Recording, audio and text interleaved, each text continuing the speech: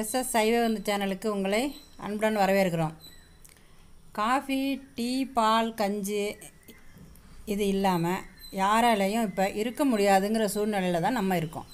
இந்த பானங்களுக்கு நம்ம பயன்படுத்துகிற ஒயிட் சுகர்னு சொல்கிற ஜீனி இல்லாமல் இயற்கை வழியாக கருப்பட்டி பாகு நம்ம எப்படி தயாரிக்கிறது வீட்டில் தயாரிக்கிறதுன்னு இன்றைக்கி நம்ம சைவ விருந்து சேனலில் பார்க்க போகிறோம் பாகு தயாரிக்க தேவையான பொருட்கள்.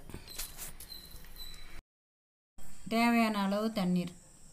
இந்த ஒரு கிலோ கருப்பட்டிக்கு முக்கால் லிட்டர் தண்ணீர் போதுமானது. இந்த ஒரு கிலோ கருப்பட்டி நாலு பேர் உள்ள ஒரு குடும்பத்துக்கு ஒரு வாரத்துக்கு பயன்படுத்துறதுக்கு போதுமானது. ஒரு பாத்திரத்தில் முக்கால் லிட்டரு தண்ணி எடுத்துக்கணும். அதில் கருப்பட்டியை சின்ன சின்ன துண்டாக இருக்கிற மாதிரி உடச்சி போட்டுக்கணும். கருப்பட்டி வந்து நல்லா கரையணும். கரையிற வரைக்கும் ஒரு பத்து நிமிஷம் வெயிட் பண்ணணும். கொதித்த பாவு கொதிக்கட்டும்னு. நல்லா கொதிச்சு பா கருப்புட்டி நல்லா கரையணும். கரைஞ்சதுக்கப்புறம் ஃபில்ட்ரு பண்ணி ஒரு வடிகட்டியில் ஃபில்ட்ரு பண்ணி வச்சுக்கணும்.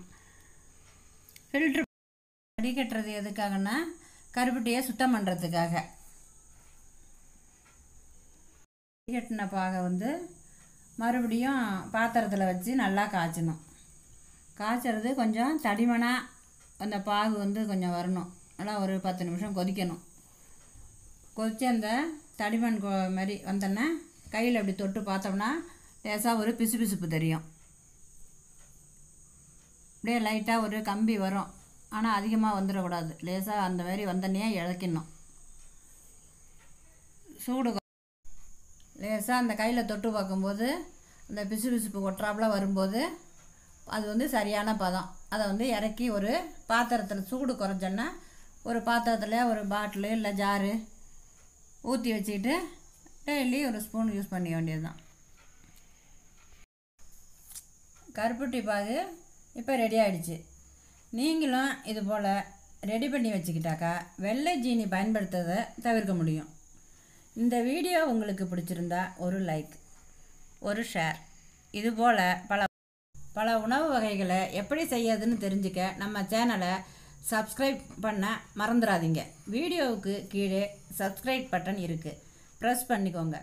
அப்படியே பெல் ஐக்கானையும் கிளிக் பண்ணிடுங்க. நம்ம சேனலில் எப்போ வீடியோ போட்டாலும் மிஸ் பண்ணாமல் பார்க்கலாம். நன்றி வணக்கம்.